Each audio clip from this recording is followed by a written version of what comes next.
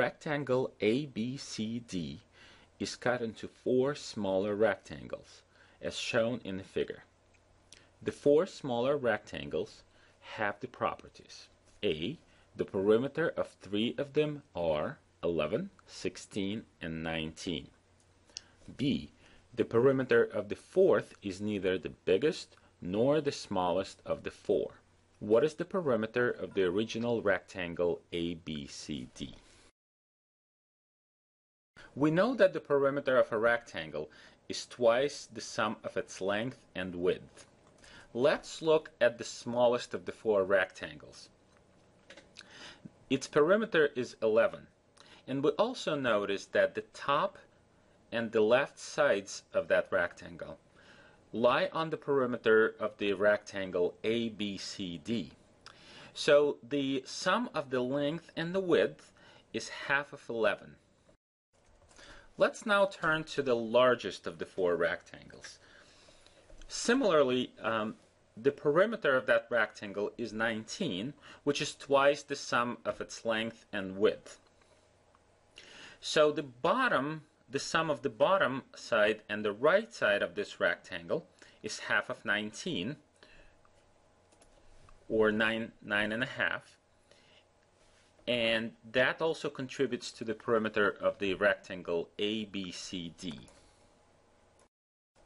So right here we already notice that the top side of the smaller rectangle and the bottom side of the largest rectangle add up to the length of the rectangle ABCD. And the left side of the smaller, smallest rectangle and the right side of the largest rectangle add up to the width of the rectangle ABCD. So the red lines on our diagram at this point represent the sum of the length and the width of the rectangle ABCD, or in other words, one half of its perimeter.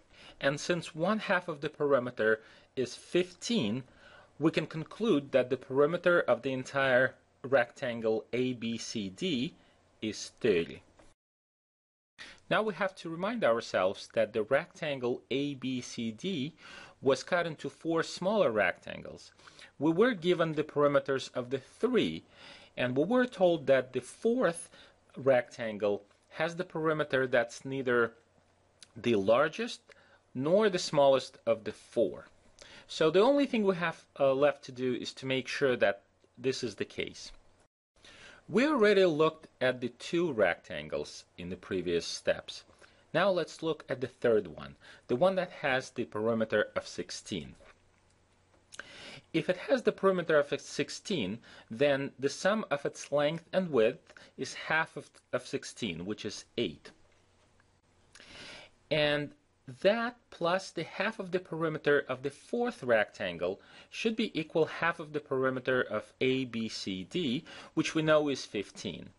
So um, this gives us the ability to say that the half of the perimeter of the fourth rectangle is 7, Therefore, its perimeter is 14, which is neither greater than 16 nor less than 11. So the answer to our problem is 30.